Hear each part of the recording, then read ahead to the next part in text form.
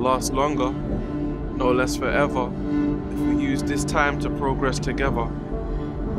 The future holds unexposed danger but no stress. Humankind is no stranger to progress. And as we've proven, when we collaborate, progress follows fast.